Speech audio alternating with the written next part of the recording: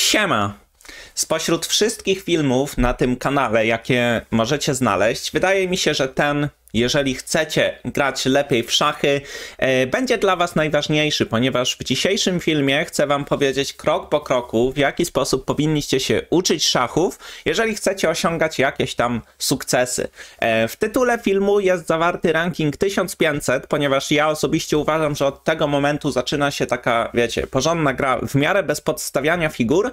Natomiast niezależnie od tego, czy macie ranking 1000, czy macie ranking 600, czy macie ranking nawet 1800, E, no to jeżeli będziecie stosować się do tych rad, które udzielę wam w tym filmie, no to y, powinien wam ranking po prostu rosnąć. Zdecydowałem się nagrać taki filmik z dwóch powodów. Po pierwsze dlatego, że mam wrażenie, że nie tylko na polskim YouTubie, ale ogólnie tak na jakimkolwiek YouTubie, y, temat ten został troszeczkę pominięty. To znaczy wiele osób robi takie rzeczy jak myśli, jak CM, robi jakieś speedruny, natomiast mało kto w ogóle zajmuje się tym, w jaki sposób ty, drogi widzu, powinieneś uczyć uczyć się szachów tak, żeby to oddawało. To jest pierwszy powód. A drugi powód jest taki, że dzisiaj jest 6 grudnia, dzisiaj mamy Mikołaja i tak się składa, że równe dwa lata temu rozpocząłem swoją przygodę ze streamowaniem. 6 grudnia 2020 roku miał miejsce mój pierwszy potężny stream. E, no i tak to się już ciągnie, także żeby wam podziękować za to, że jesteście, za to, że mnie wspieracie, za wszystkie miłe komentarze, no to muszę wam dać coś od siebie. E, no i to będzie właśnie ten film. Także fajnie, że jesteście i po prostu dziękuję, bo jakby nie wy, to pewnie bym robił jakieś mniej ciekawe rzeczy niż nauczał was grać w szachy. Także filmik będzie podzielony na kilka części, od najmniej ważnych rzeczy po najbardziej ważne rzeczy. Postaram się to w miarę uszeregować. Na dole będą rozdziały. Więc przechodząc już do głównych zagadnień, chcę wam tylko powiedzieć, że jakby co to śmiało, podawajcie ten filmik dalej, zostawcie łapkę w górę, jeżeli wam pomogło e, suba, będzie mi bardzo miło. Natomiast przechodzimy już do rzeczy, które pomogą wam grać lepiej w szachy. I pierwsza z tych rzeczy, według mnie najmniej ważna, ale w takim filmie muszę to poruszyć, to oczywiście płatne materiały. I ja nie jestem wielkim fanem, to znaczy ja mam takie wrażenie, że wiele osób mających pieniądze myśli sobie, że można się nauczyć grać w szachy, jak się tylko zabuli trochę kaski. Nie do końca tak to działa i oczywiście polecam wam kupować kursy. Na szachomanii jest tych kursów troszeczkę, e, natomiast pamiętajcie, że to nie zastąpi wam tej pracy, o której powiem wam później. Płatne kursy są spoko i tutaj oczywiście, no ja jestem team szachomania, więc polecam szachomania szachomanie, aczkolwiek wiem, że inni twórcy też robią jakieś kursy. Możecie sobie posprawdzać i jeżeli uważacie, że z danym aspektem macie jakiś problem, no to kurs będzie spoko, no bo wiecie, tak to jest, że do kursów człowiek zawsze bardziej się przykłada z tego względu, że wie, że ludzie za to będą musieli zapłacić. Więc kursy ok, możecie sobie je wykupić, jeżeli potrzebujecie, natomiast żebyście nie mieli takiego przeświadczenia, że wiecie, kupię kurs i będę nagle wygrywać wszystkie partie, bo to tak nie działa. Ja nawet w moich kursach zawsze to zaznaczam zaznaczam. Podobnie ma się sprawa z trenerami, ponieważ wiele osób myśli sobie, że kurczę, no mając ranking 800 potrzebuje trenera. Prawdopodobnie nie potrzebujesz trenera. Oczywiście, trener nigdy nie zaszkodzi i trener to jest taka osoba, która, jak ja to lubię mówić, jest raczej waszym drogowskazem, czyli może wam powiedzieć, powinieneś robić to, to, to i to, no ale nawet ja, czy nawet trenerzy na szachomanii, no nie są w stanie wejść wam do głowy i zrobić, że będziecie grać z siłą 1000, a nie z siłą 800. Tutaj na e, szachomania.pl możecie znaleźć sobie czwórkę trenerów, możecie sobie wybrać, jeżeli jesteście zainteresowani. Natomiast to, co chcę wam bardzo mocno powiedzieć, to na pewno fakt, że no, trener was, z was może zrobić dobrych szachistów, jeżeli go będziecie słuchać, ale jednak trzeba liczyć się z jakimś tam kosztem, a na niższym poziomie nie zawsze jest to potrzebne. Także podsumowując, pierwszą rzecz, taką w mojej ocenie najmniej ważną, możecie interesować się kursami, możecie interesować się trenerami, czy to szachomania, czy na ekorepetycji, petycjach czy gdziekolwiek na pewno kogoś dla siebie znajdziecie. Natomiast to jest taka rzecz, która trochę wam pomoże, ale nie sprawi, że będziecie grać nie wiadomo jak dobrze w szachy, jeżeli nie będziecie sami nad tym pracować. Więc co powinniście robić na dobrą sprawę? I tutaj jeżeli chodzi o bezpłatne rzeczy, to ja zawsze mówię, że macie ogromne szczęście. Osoby, które teraz zaczynają się uczyć grać w szachy, mają bardzo dużo szczęścia, ponieważ jak ja zaczynałem się uczyć grać w szachy, to ja musiałem iść po jakąś książkę, czytać tę książkę, nie zawsze ją rozumiałem, nie miałem trenera i tak dalej, i tak dalej. Podczas gdy wy yy, macie po prostu YouTube'a I czy to polski YouTube, czy to angielski YouTube, zawsze możecie znaleźć coś dla siebie. Więc jakie materiały i w jaki sposób powinniście oglądać, jeżeli chcecie grać lepiej w szachy? Przede wszystkim rzeczą, która jest zawsze dopasowana do waszych potrzeb, to są speedruny. I tutaj oczywiście, jak wpiszemy sobie szachy speedrun, macie czy to Daniela Narodickiego, czy to Dawida Czerwa, czy jakiegoś łysego hopa w okularach, czy Zbigniewa Pakleze, czy Szachusia. Wiecie, każdy z nas jest inny, każdy z nas lubi robić jakieś tam inne rzeczy po swojemu, natomiast speedrun to zawsze jest taka rzecz, że jeżeli sobie wejdziecie, do, macie ranking 800 i wejdziecie sobie do zawodnika, co ma ranking 2400, ale gra na poziomie 800, to zauważycie, jak prosto jest wygrywać, jeżeli się e, stosuje te podstawowe rady. Więc speedruny to jest naprawdę rzecz, z której będziecie mogli wyciągnąć bardzo, bardzo dużo i to jak najbardziej Wam polecam. Drugą rzeczą, o której powinniście pamiętać i z której powinniście e, korzystać, to są takie bezpośrednie analizy partii. To znaczy, wiecie, na przykład myśl jak CM. To jest taka seria, która jak widzicie po wyświetleniach zazwyczaj nie oddaje. Ja jej nie wrzucam dlatego, że będę mieć z tego jakieś wielkie pieniądze. Wrzucam ją dlatego, żebyście się mogli bardzo dobrze nauczyć grać w szachy. Podobnie Dawid Czerw ma serię w mojej głowie i też możecie się z tego czegoś nauczyć.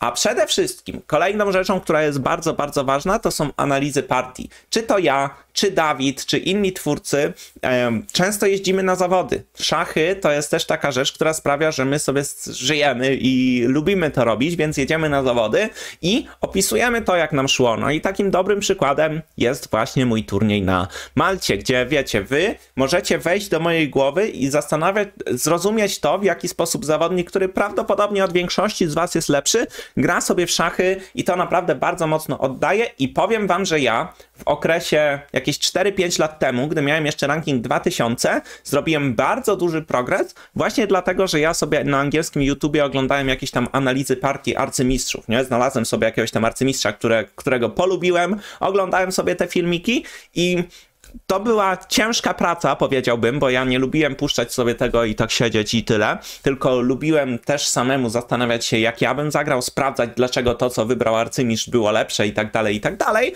I dzięki temu stawałem się po prostu lepszym szachistą i wbiłem 200 oczek rankingu w zasadzie w pół roku czy w rok, więc to bardzo dużo mi pomogło. Więc jeśli chodzi o darmowego YouTube'a, to są główne rzeczy, z których powinniście się uczyć i to, przed czym chciałbym was przestrzec, to szczególnie podczas takich poważnych filmów, typu właśnie analizy partii, czy jakieś myśli jak CM, czy nawet speedruny, to to są takie rzeczy, w których chciałbym, żebyście po prostu jak uczycie się, jak oglądacie, to żebyście to traktowali jak jakiś wykład, nie? Idziecie sobie na wykład, chcecie się czegoś nauczyć, więc musicie być skupieni i też to oglądać, bo jeżeli sobie puścicie speedruna do snu, no to nie będziecie za bardzo skupieni i oczywiście spoko, oglądajcie sobie w ten sposób, ale nie traktujcie tego jak naukę szachów. Więc to są te darmowe rzeczy z YouTube'a. Natomiast to wszystko, co powiedziałem do tej pory przez te około 10 minut, nie będzie miało żadnego znaczenia, jeżeli nie będziecie robić dwóch podstawowych rzeczy, które robi każdy szachista, który chce progresować. I tymi rzeczami są analizy partii oraz robienie zadanek. I dzisiaj chciałem Wam pokazać to, w jaki sposób powinniście swoje partie analizować, ponieważ wydaje mi się, że to jest taka rzecz, o której mało kto mówi w szachowym internecie. E, a także chciałem Wam powiedzieć, w jaki sposób robić zadanka, bo ja wiem, że jest wiele osób, które w tym momencie sobie pomyślały, no kurczę, przecież analizuję partię, kurde, przecież robię zadanka, a ranking stoi w miejscu. Prawdopodobnie robisz te zadanka źle i dzisiaj, w dzisiejszym odcinku chcę Wam też pokazać, w jaki sposób to robić. I przede wszystkim komputer, czyli silnik szachowy, może Wam w analizach partii pomóc. Dlaczego? Ponieważ Wy, mając ranking powiedzmy 800 czy 1000 czy 1200, bardzo często nie będziecie w stanie bez komputera przeanalizować swojej partii i zrozumieć, dlaczego popełniliście błąd. Pamiętajcie o tym, że komputer może być Waszym sojusznikiem. Może też być rzeczą, która sprawi, że nie będziecie robić progresu, bo będziecie tylko patrzeć na to, co on pokazuje i tak dalej. Natomiast ja zawsze jestem zdania, że dobrze jest myśleć o tym, tak jakby posługiwać się komputerem w taki sposób, sposób, żeby rozumieć, o co mu dokładnie chodzi. I żeby wam to pokazać, to chciałem wam pokazać cztery partie. Jedną z poziomu 1000 na Liczesie, czyli dość niski poziom, drugą z poziomu około 1500 na, e, na Czeskomie, trzecia około 1700-1800 na Czeskomie, czwarta partia to będzie moja partia IRL, którą rozegrałem kilka dni temu i też powiem wam, jakie wnioski można z tego rzeczy, e, z tego wyciągnąć. Także przechodzimy już do partii szachowy streamer, ranking 1039. Rozegrał niedawno na Twitchu taką partię. Nastąpiło E4. Zauważcie, że tutaj będziecie mieć podgląd silnika oraz najlepsze ruchy. E5, skoczek F3, skoczek C6, goniec B5, A6, goniec C4. Wiadomo, nie są to optymalne ruchy, ale póki co silniczek mówi, że jest w miarę ok. I tutaj nastąpiło skoczek C3. I mamy pierwszy moment, gdzie przewaga idzie w jedną stronę ku drugiej. I nie chodzi o to, że ty, drogi widzu, mając ranking 1000 czy 800, od razu podczas partii powinieneś widzieć, że możesz zagrać skoczek E4, tutaj zrobić widełki, przeciwnik odejdzie, możesz zagrać tutaj, tutaj i wszystko jest w porządku, bo to jest kombinacja na 3-4 ruchy, którą trudno jest dostrzec. Już abstrahuję od tego, że w tym momencie jest jeszcze taki ruch jak F5. To jest dość skomplikowane.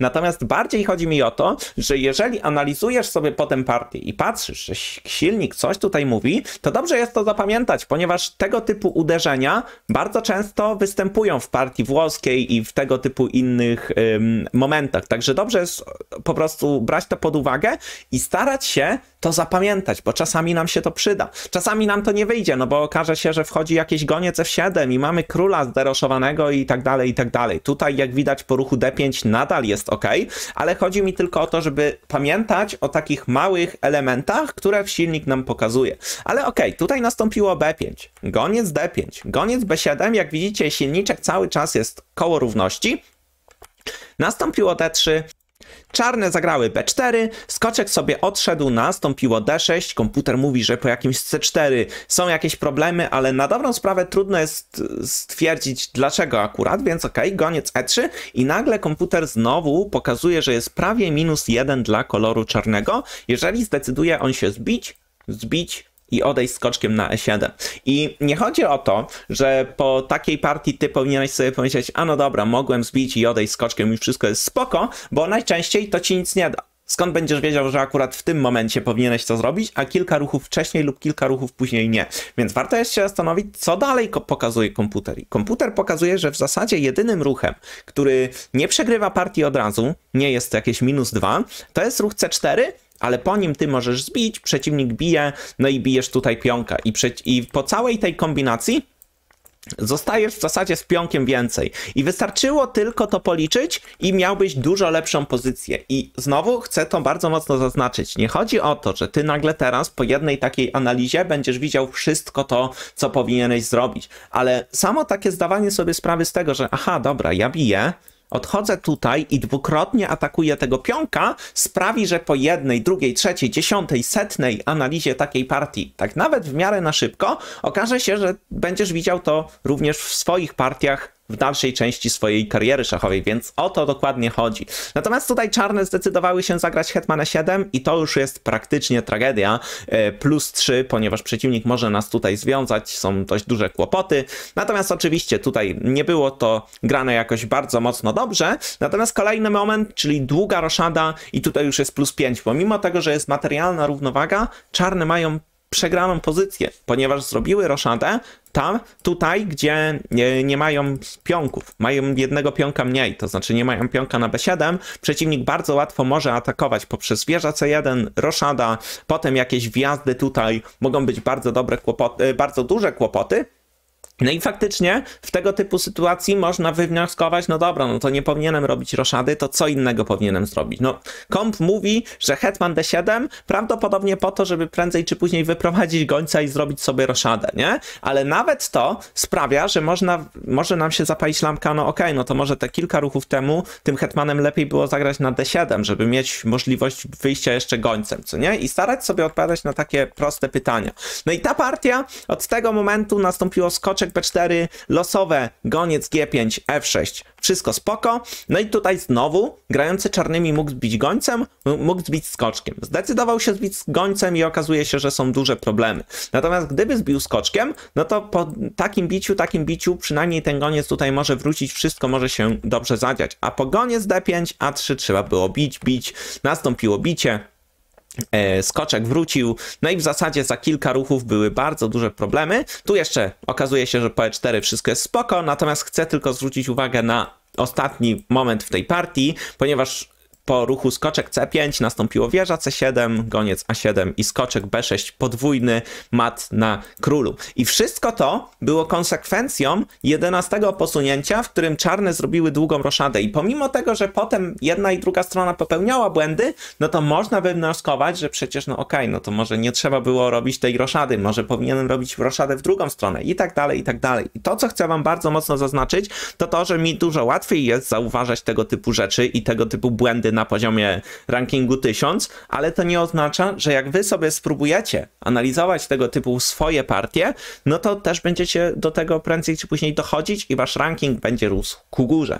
Ok, przechodzimy do drugiej partii, gdzie jak widzicie rankingi już są troszkę wyższe, około 1500 yy, i tę partię jeden z moich widzów grał kolorem czarnym. I znowu korzystając z tego, co podpowiada nam komputer, zauważcie, jak dużo wniosków można wysnuć, nawet samemu, nie mając trenera. A mianowicie E4, E6, D4, D5, E5, C5, skoczek F3, bicie, bicie. To jest cały czas wariancik, więc spoko. Skoczek C6, e, Goniec B5, goniec D7. No i tutaj pierwszy moment, w którym przeciwnik zdecydował się zagrać ruch A4. I oczywiście, gdy patrzymy sobie z komputerem, to bardzo łatwo jest zauważyć, aha, no dobra, mogę zbić tutaj i zdobyłem pionka.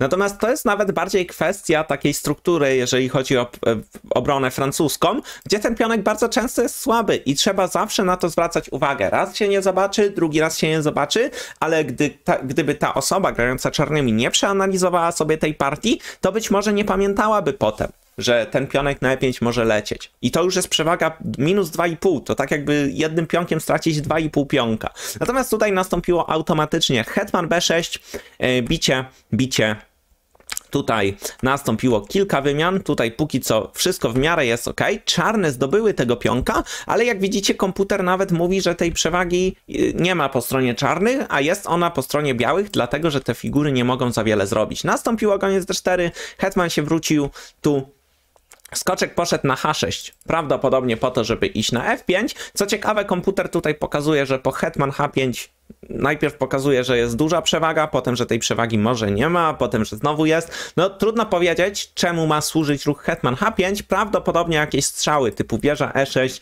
a jak zagramy goniec E7 tracimy na G7 i tak dalej, i tak dalej. Jest bardzo dużo problemów ze skrzydłem królewskim, nie? A nie możemy zagrać skoczek F5, bo hetman F5. Także no to był silny ruch, no i faktycznie, no to może w takim razie lepiej zagrać skoczek F6, żeby nie było ataku na G7. I właśnie o to chodzi w analizach partii, żeby samemu próbować zrozumieć, o co tu w ogóle chodzi, dlaczego silnik pokazuje jedną rzecz, a nie drugą rzecz.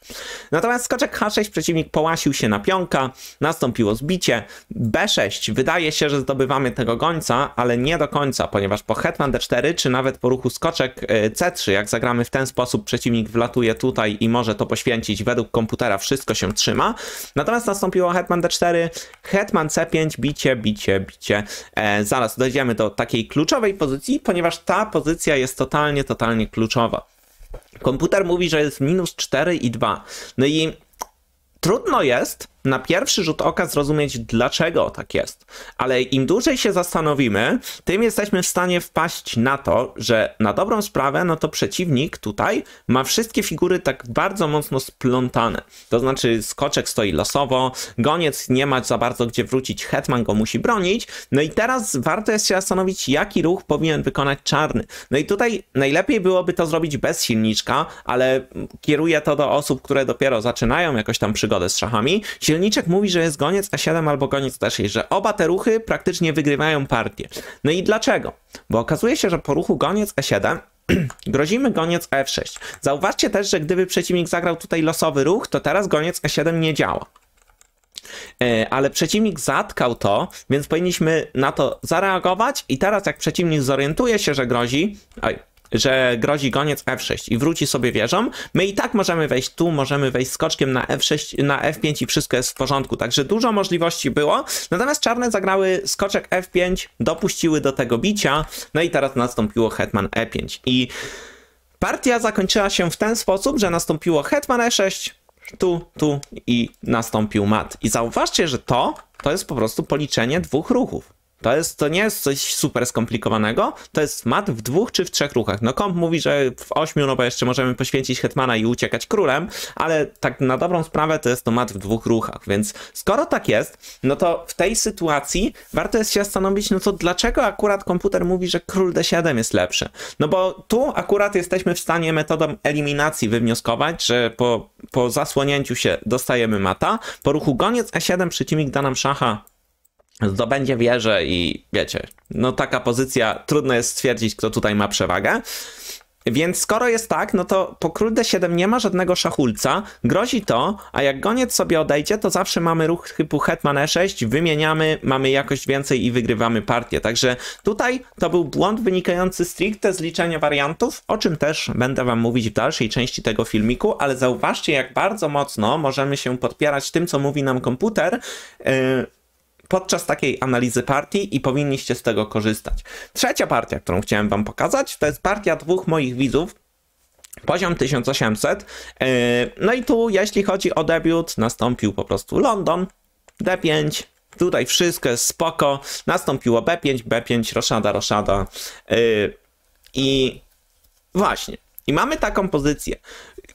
Białe zdecydowały się zagrać ruch wieża C1. Powiedzmy, że jest on ok. Komputer mówi, że trzeba zagrać B4, ale znowu trudno jest na dobrą sprawę wytłumaczyć dlaczego tak jest. Prawdopodobnie komputer boi się samemu zagrać B4. Natomiast ja bym bardziej tutaj był, skusił się na zagranie skoczek E5, bo to jest to, do czego, dlaczego gramy Londona. Chcemy ustawić skoczka na E5, Przeciwnik nie może tego zbić, bo podstawi widełki. Jak zbije tym, no to my to odbijemy DE Zaraz zagramy F4, F5, F6 i przeciwnik może mieć giga kłopoty, ale ok, wieża C1, wieża E8, hetman C2, bicie, no i teraz następuje pierwszy błąd w partii. I grający białymi powinien sobie tę partię przeanalizować i zrozumieć, że to co zrobił było bardzo złe, ponieważ tutaj komputer mówi HG jest plus 1 dla białego, czy plus 0,7. Natomiast po FG, co nastąpiło w partii, jest 0-0-0, ponieważ przeciwnik może zagrać E5 i faktycznie E5 nastąpiło. No i co o co tu w ogóle chodzi? Dlaczego FG jest słabe? Jak sobie puścicie 1000 losowych partii, to strzelam, że w 950 w takiej sytuacji lepiej jest zbić HG. FG bijemy tylko w konkretnych przypadkach i jeżeli macie niższy ranking niż, nie wiem, 2000, to raczej bicie HG, bo powinniśmy bić do centrum, a nie od centrum. FG jest problematyczne, bo pomimo tego, że otwieramy sobie linię, to potencjalnie osłabiamy sobie bardzo mocno naszego króla. No i też każda końcówka będzie dla nas gorsza, ponieważ te pionki są znacznie słabsze niż jakby stały tak. Nastąpiło więc tutaj E5, bicie, bicie, bicie, bicie. Nadal nie ma nic złego, to znaczy jak widzicie cały czas ten komputer mówi, że jest około równości. Nastąpiło goniec E6, skoczek F3. Wieża C8, skoczek ustawił się na D4. Nastąpiło B4. Zwróćcie też uwagę na to, że Wieża C8 było skierowane stricte pod to, żeby zagrać ruch B4 i podważyć to wszystko, więc zagranie skoczek D4 nie było najlepsze, ale to są małe rzeczy. Goniec F5, bicie. No i tutaj komputer mówi, że znacznie lepsze jest bicie skoczkiem na E6. I teraz jak przeciwnik odbije, my to bijemy, zdobywamy i jest spoko. I przeciwnik musiałby znaleźć ruch wieża E8, który łatwy do znalezienia nie jest. Nastąpiło jednak bicie Tutaj znowu skoczek E6 jest dużo lepsze, yy, natomiast tutaj nastąpiło goniec E6, bicie, bicie. No i teraz okazuje się, że po skoczek E4 jest totalnie przegrana pozycja, no i białe za kilka posunięć przegrały. A zwróćcie uwagę, że gdyby ten pionek stał tutaj, to ta pozycja wcale nie musiałaby być przegrana, no bo dlaczego? To jest bronione, to by było bronione. E, jak sobie zwizualizujecie, no to zauważcie, że mogą grozić jakieś maty na ósmej linii i tak dalej, i tak dalej. I to wszystko jest pokłosiem tego, że partia e, potoczyła się w zły sposób odbicia na G3. I jak widzicie, te rzeczy są trochę trudniejsze do znalezienia na wyższym poziomie, no ale dlatego też te osoby mają wyższy ranking, że potrafią tego typu rzeczy dostrzegać. I na koniec chciałem wam pokazać, na koniec tego segmentu na temat analiz partii,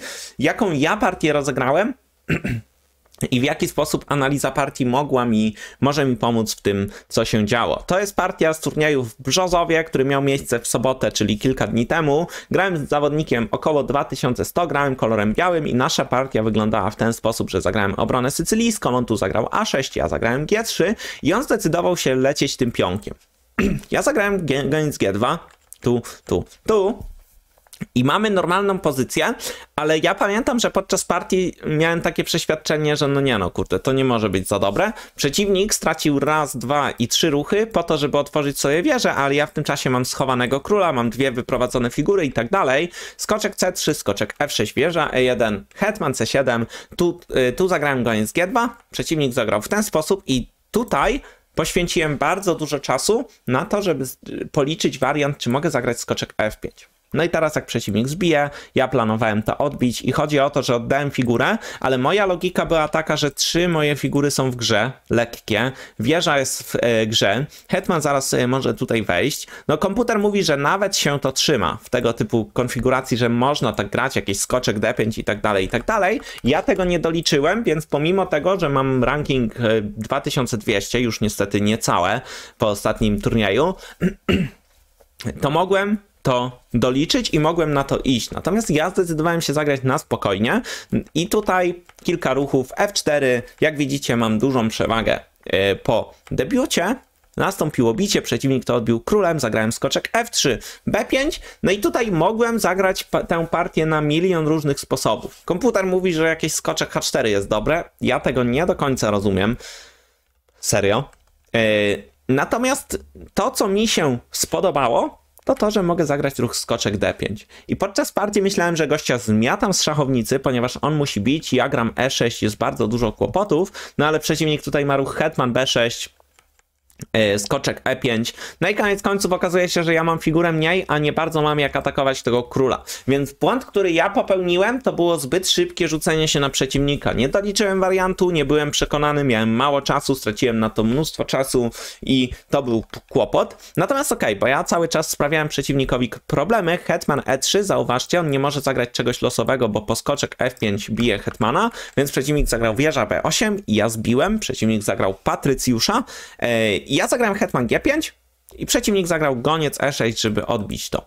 Więc ja zbiłem, zbiłem, nastąpiły takie wymiany. Teraz już mam tylko jakość mniej, e, ale tutaj przeciwnik grał po prostu cały czas dobrze. I teraz chcę wyłączyć silnik, żeby zwrócić Wam uwagę na to, co mogłem tutaj zrobić. Hetman d5. Ja mam skoczka, który jest bardzo aktywny. Hetmana, który jest bardzo aktywny, jego figury nic tutaj nie robią, ten hetman jedynie wiąże. Nastąpiło więc król G7, wieża E8, hetman D7, król F8 i tutaj zagrałem bardzo dobry ruch, skoczek F5 i przeciwnikowi grozi mat. I przeciwnik zagrał ruch wieża E5 i ten ruch przegrywa. I możecie zapauzować filmik, zastanowić się, dlaczego tutaj białe zaczynają i wygrywają. Natomiast ja, przez to, że wcześniej straciłem dużo czasu w debiucie, no to tutaj miałem kilka sekund, oczywiście było 5 sekund dodawanych, więc chciałem szybko wykonać ruch i widziałem wygrywające posunięcie, tylko nie widziałem go dokładnie. I zagrałem hetman g7, przeciwnik odszedł królem i ten król gdzieś tam potem się pochował i koniec końców partię przegrałem. Okazuje się, że w tym momencie po ruchu wieża e5 ja mogłem zagrać ruch skoczek d6. I widziałem go, tylko stwierdziłem, że kurde nie, bo jak on zagra tutaj, no to ja dam szacha, on gdzieś tu odchodzi, widziałem skoczek F5, no powinienem tak iść. Tutaj nie podobało mi się jedynie to, że nie mogę zagrać tu, że jak przeciwnik odejdzie, to zdobywam wieżę, bo przeciwnik to zbije. Natomiast to, czego nie zauważyłem, to fakt, że ja tutaj mógłbym zbić, zbić, zagrać skoczek C8 i wygrywam partię. Także jak widzicie, nawet u mnie liczenie wariantów jest troszeczkę problematyczne i trzeba po prostu brać to pod uwagę i ćwiczyć. Także jeśli chodzi o tę tę część, czyli analizę partii. Mam nadzieję, że pokazałem Wam w miarę w to, w jaki sposób powinniśmy e, to robić. Oczywiście nie będzie to proste. Ja zawsze podczas zajęć czy podczas czegokolwiek mówię, że tego typu rzeczy nie są proste, ale trzeba próbować tak robić, jeżeli chcecie progresować w szachach. Najlepiej analizować partie e, rapidowe i wtedy będziecie rosnąć, a wasz ranking również będzie rosnąć. Natomiast to wszystko, co powiedziałem Wam do tej pory, i tak nie ma większego znaczenia, jeżeli nie będziecie robić kolejnej rzeczy, która jest najważniejsza, a mianowicie rozwiązywanie zadanek. I jeśli chodzi o zadanka, to to jest pewien, yy, pewna dziwna rzecz, a mianowicie wiele osób myśli, że im zrobi więcej i szybciej zadań, tym będzie lepszym szachistą. I na pewno może wy jesteście tacy, może znacie kogoś takiego, kto robi setki zadań dziennie, ale spędza nad nimi, nie wiem, kilka sekund i nagle okazuje się, że jego ranking ani na zadankach, ani na czeskomie, ani na liczesie nie rośnie.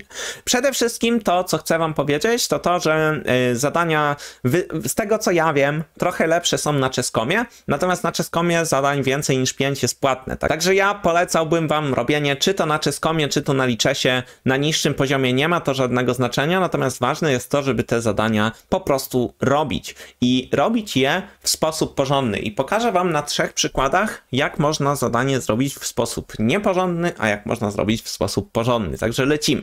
Pierwsze zadanie jest to zadanie z czeskomu yy, i ono jest jakiś tam ranking 900, czy bardzo niski ranking i bardzo łatwo. Tutaj wielu z Was znajdzie przecież najlepszy ruch, czyli dorobienie hetmana. Nie? I to jest najlepszy ruch. Tylko to, taki nawyk, który powinniście mieć, jeżeli chodzi o robienie zadanek, to jest siąść i w tym momencie znaleźć całą kontynuację, czyli nie znaleźć tylko, że dorobię Hetmana, przeciwnik się zasłoni i wtedy myślę znowu, tylko już w tym momencie powinniście się zastanowić, w jaki sposób takie zadanko zrobić od początku do końca. No i tutaj oczywiście jest to dość proste, przeciwnik się zasłania, ale my możemy zagrać Hetman C6, przeciwnik nie może nigdzie odejść, to też jest ważne, żeby dostrzegać, musi się zasłonić i jest mat. I to było dość proste. Oczywiście, wiecie, no tak wyglądają zadanka, jak jesteście bardziej początkujący, ale chodzi mi o to, że to są trzy ruchy i już w tym momencie musicie, no w tym momencie, w tym momencie już musicie widzieć końcową pozycję. I im będziecie lepsi, tym dużo łatwiej będziecie w stanie to policzyć, bo pamiętajcie, że zadanka nie są po to, żebyście nabijali sobie na nich ranking, tylko zadanka są po to, żebyście e, potrafili liczyć więcej wariantów. Drugie zadanie, które chciałem Wam pokazać, znowu wydaje mi się, że jest dość proste, natomiast ono bardzo dobrze pokazuje, w jaki sposób powinniśmy się zajmować tego typu zagadnieniami. No bo jak sobie popatrzycie, no to przeciwnik ma pionka więcej, no i znowu mamy kilka szachów. Możemy dać takiego szacha, takiego szacha, takiego szacha, możemy zbić pionka, możemy coś tam, różne inne rzeczy robić i nie dojdziecie do tego, który z tych szachów jest najlepszy, jeżeli nie pomyślicie o tym w taki sposób, że musicie brać każdą możliwość i wszystko liczyć porządnie. No bo zauważcie, można by było sobie pomyśleć, ok, ja zagram tu, przeciwnik odejdzie i daje mu mata. I wielu, wiele osób po prostu w taki sposób robi zadania. Tu, tu i mat. Po czym nagle okazuje się, że po ruchu wieża B1 wywala błąd, ponieważ nie, no, król mógł odejść na A6 albo na C6, lipa. No to okej, okay, to może zagram tu. Przeciwnik odejdzie, ja mu zbiję, przeciwnik odejdzie tutaj, ja zbiję, przeciwnik zbije, ja mam tutaj, jest wszystko w porządku. No okazuje się, że też nie do końca, ponieważ po tym ruchu, po tym ruchu, tutaj, tutaj, tutaj, tutaj, no pozycja jest zapewne remisowa. Zgadza się. Więc skoro tak, no to, yy, no to trzeba się zastanowić inaczej. No i skoro inne rzeczy nie działają, no to może wróćmy do tego, nie? Wieża D6, tutaj, tu, król idzie na B4, ale po co mamy wymieniać wieżę, skoro możemy dać szacha i zdobyć całą wieżę? I zauważcie, że pyk, pyk, pyk, pyk, pyk, pyk, pyk, to jest 4 czy 5 ruchów, które są forsowne, ale które po prostu oddają i faktycznie można na nie wpaść już od startowej pozycji. Wy nie musicie w tym momencie przestawiać po jednym ruchu, nawet nie możecie tak robić, jeżeli chcecie progresować, tylko powinniście już w tym momencie widzieć, że ta wieża na końcu leci i jak będziecie to robić w ten sposób, no to za każdym razem będziecie porządnie robić zadanka. Oczywiście, chcę wam też zwrócić uwagę na to, że najczęściej to jest katorżnicze i wiele osób nie lubi po prostu siedzieć przez 10 minut i patrzeć jak się, jak ciele namalowane wrota, czy jak to się tam mówi, ale zazwyczaj to jest jedyna droga do tego, żeby wam oddawało. No i trzecie zadanie, które również wydaje mi się, że jest dość proste, a mianowicie tutaj gramy białymi. Ostatnim ruchem przeciwnika było wzięcie nam skoczka chyba gońcem, no mniejsza o to. Yy, no i trzeba znaleźć najlepszą kontynuację. No i znowu wiele osób od buta zagrałoby wieża F8, bo przecież tu zaraz będzie mat, nie? No i okazuje się, że nie do końca, ponieważ jak zagramy wieżę F8, przeciwnik nam zbije, zbije, zbije, zbije, no i koniec końców okazuje się, że mamy minus 5, ponieważ przeciwnik ma skoczka więcej. Więc to jest jedna z rzeczy, którą można policzyć, Drugą z rzeczy, którą można policzyć jest jakieś wieża F7, ale wieża F7 też nie oddaje z jakiegoś powodu. A, bo przeciwnik ma ruch hetman G6 i to jest bronione. Dlatego tutaj... Oj, Mam nadzieję, że nie zaspoilerowałem. E, natomiast tutaj jedyną opcją to jest zagranie szacha na f6. Tylko chodzi o to, że jak zagramy szacha na f6, to już wiemy, że przeciwnik odejdzie królem na g8 i już wtedy powinniśmy widzieć, że możemy zagrać tutaj, poświęcić hetmana i na końcu mamy mata, czyli tu, tu, tu, tu, tu, tu, bicie. No i wygrywamy partię. I oczywiście to były takie trzy zadanka, które pewnie nie były jakoś super skomplikowane, natomiast też zależało mi na tym, żeby to było w miarę przejrzyste i to są dosłownie wszystkie rzeczy, które każdy z was powinien robić, jeżeli chcecie grać lepiej w szachy. Nie ma drogi na skróty, niestety choćbyście kupili sobie 10 zajęć z Magnusem Carlsenem, to on nie sprawi, że będziecie grać lepiej w szachy, jeżeli, jeżeli będziecie sobie e, olewać zadanka szachowe, czy jeżeli będziecie olewać sobie partię. Także tak podsumowując to wszystko, po kolei idąc, to dzięki za to, że jesteście. Zostawcie suba, łapkę w górę i komentarz najlepiej. E, po drugie to, jeżeli chcecie, korzystajcie z Szachomani czy z innych stron z kursami. Wiem, że jest Chessable, wiem, że tam nawet Polacy czasami coś tam dodają. E, jeżeli znacie język angielski, to jak najbardziej. Natomiast oczywiście ja polecam Szachomanie, ponieważ raczej te kursy są fajne z tego, co piszecie. Trener na pewno Wam się przyda, ale nie jest on obowiązkowy i znam wiele osób, które bez trenera doszły bardzo, bardzo daleko. Natomiast z najważniejszych rzeczy to polecam Wam oglądać speedruny, polecam Wam oglądać e, wszystkie serie analiz partii, czy myśli jak CM, czy cokolwiek innego ale najważniejszymi rzeczami to jest granie rapidów, czyli i potem analizowanie ich, żeby to nie było tak, że zagracie sobie gierkę i zagracie drugą, trzecią i w zasadzie cały czas popełniacie te same błędy. E, no i na koniec robienie zadanek codziennie najlepiej. Jeżeli udałoby wam się robić codziennie przez 30 minut zadanka, to to no, nie istnieje możliwość, żeby wam ranking nie szedł do góry. Więc róbcie zadanka, ale róbcie je porządnie. Od początku starajcie się do końca policzyć dany wariant i wszystko będzie spoko. Także mam nadzieję, że filmik Wam się podobał. Wyjdzie prawie 40 minut, ale cóż, dobrze. Także yy, trzymajcie się cieplutko i do usłyszenia następnym razem. Elo!